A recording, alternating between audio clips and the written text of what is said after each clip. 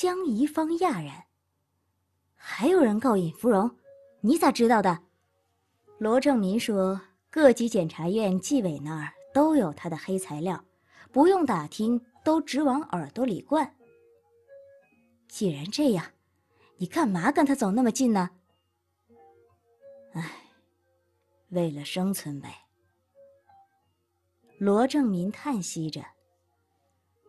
他现在是实权人物，还有上升空间，谁敢不唯命是从啊？这是位于市中心的一段江道，江水在一个胳膊肘弯处急转。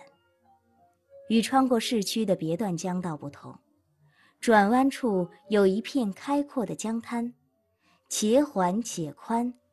按照水利厅那份被搁置的报告上的标示，拟建中的家属楼就在这幅地界。就这儿。走出车子，尹芙蓉准确地为刘坤指出方位。刘坤和他手下的高经理面面相觑，这里分明是江道啊！面对他们眼中的疑问。尹芙蓉耐心说明，这段江道比别处宽出约一百五十米，如果和上段、下段掐齐，再砌一道防洪堤，在他们脚下刚好可以圈出近两万平米的空地。若是作为房地产开发，这里将成为市区绝版黄金水岸。为支持自己的说法，尹芙蓉还拿出一份新版市区图。老板，我们脚底下还真是旧河道，确实比别处宽出不少。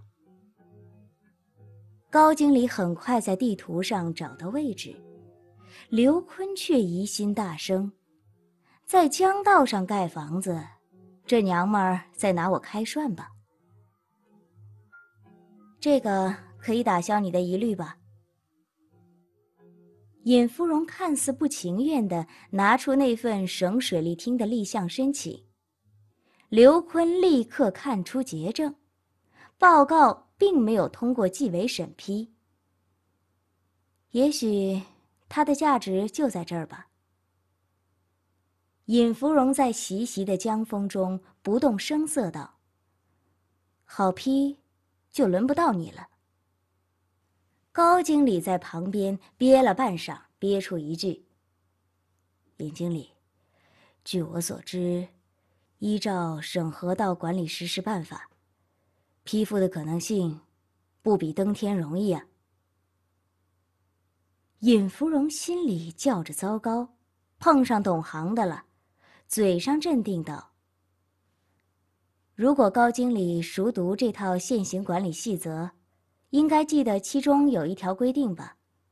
因特殊情况需要扩站，没错。水利厅的立项申请不足以证明住宅楼属于特殊情况，但明眼人看得出，这只是个含糊的说法，没有明确的范围，就是事在人为。考验的是看你的操作手法和公关能力。这么说。你能攻下这一块了？刘坤犹犹豫豫问道。当然，名字我都想好了，外滩花园。刘坤和高经理听得且喜且惊，当即拦住正准备拂袖而去的尹芙蓉，半请半拽将之拉到附近一家酒店。尹经理。介绍一下您的操作方案吧，看得出，您有一套成熟的想法。韭菜没上齐，高经理等不及了。拿捏对方一阵子，尹芙蓉建议由昆仑公司出马，主动与水利厅接触，寻求合作，还说经他了解，对方原本没有这笔建房资金。起初便是想拿到立项批文，再找合作伙伴。有钱赚钱，没钱赚楼。有人主动找上门，水利厅当然求之不得。这样做的好处是可以封住对方漫天要价，因为水利厅终究没有批文，尹芙蓉还建议刘坤策动对方修改立项申请，充分利用旧江道上那块潜在地皮，把项目做大。这符合所有参与者的共同利益。外滩花园一旦做成本部第一楼盘，大家都会挣得钵满盆满。一席话。尹芙蓉说的真真假假、虚虚实实、丝丝入扣，又合情合理，听起来极具诱惑力。问题的关键在立项。这一关，谁来攻？刘坤眨着疑色丛生的小眼睛问：“我。”尹芙蓉掷地有声道。刘坤大笑起来，他根本不相信尹芙蓉为区区几张底片下这么大血本，这并不像他的一向做派。跟你这种人打交道，我不认倒一次血霉，你会善罢甘休吗？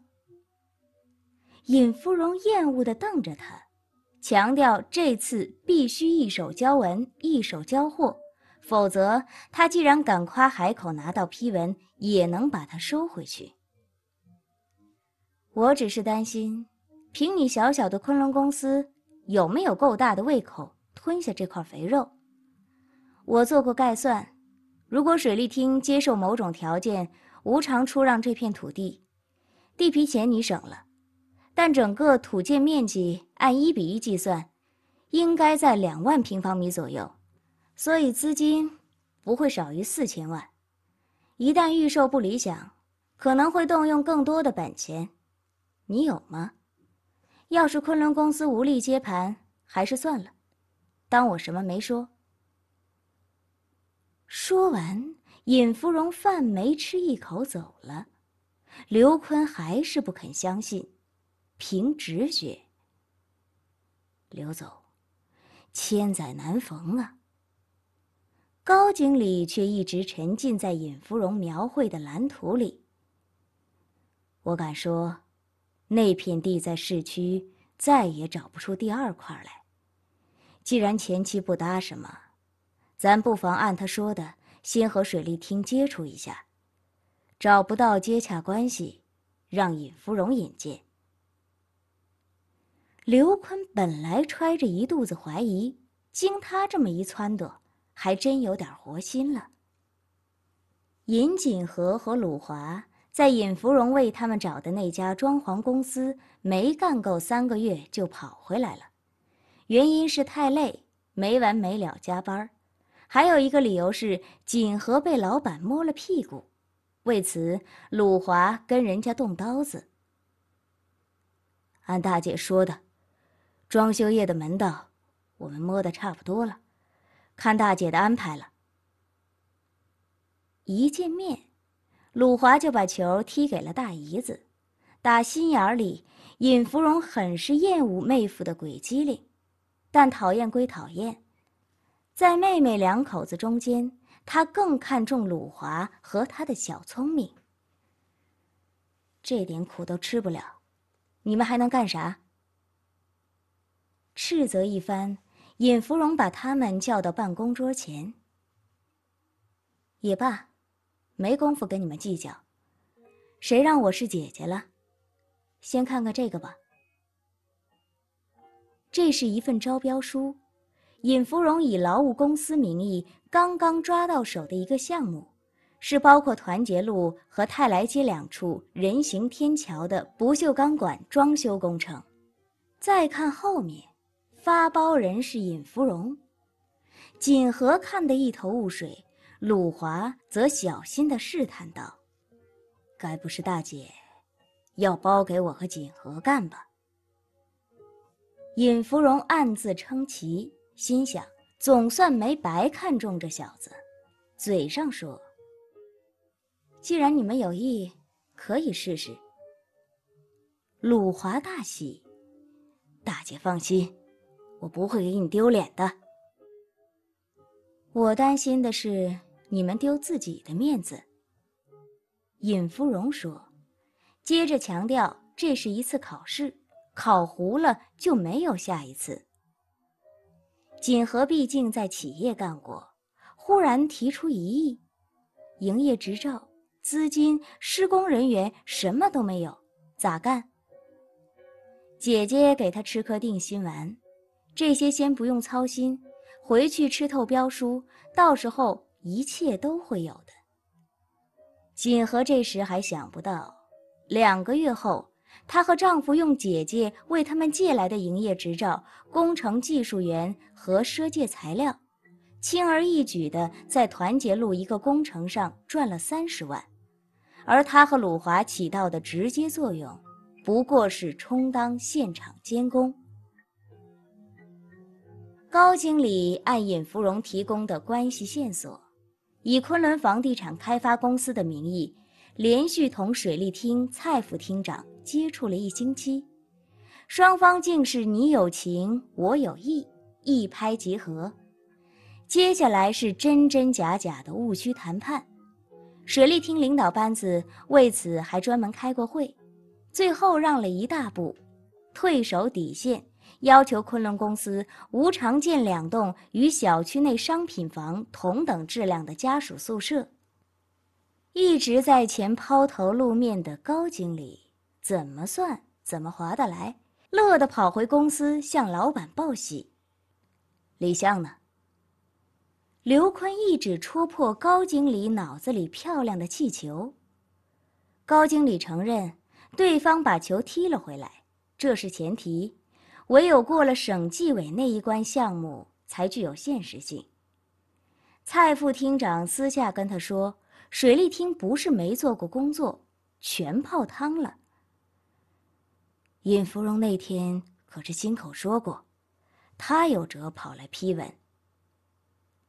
见老板没反应，高经理又说：“姑且项目成立。”他和底下人搞过调查，对沿江各大楼盘做了一份统计，平均售价在每平米三千五百元左右。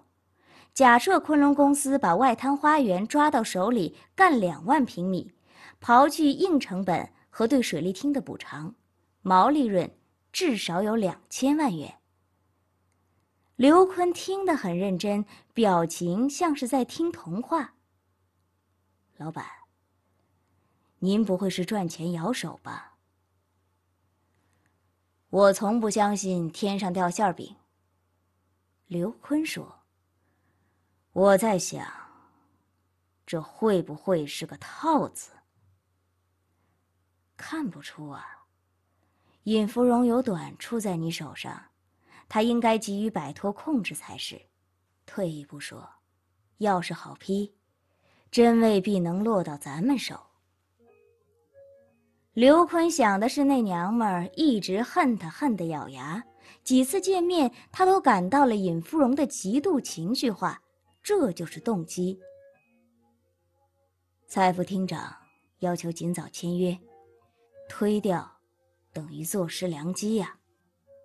刘坤又想到了资金，他的全部家当只有两千万，吞不下这口大象。高经理举出富豪花园的例子。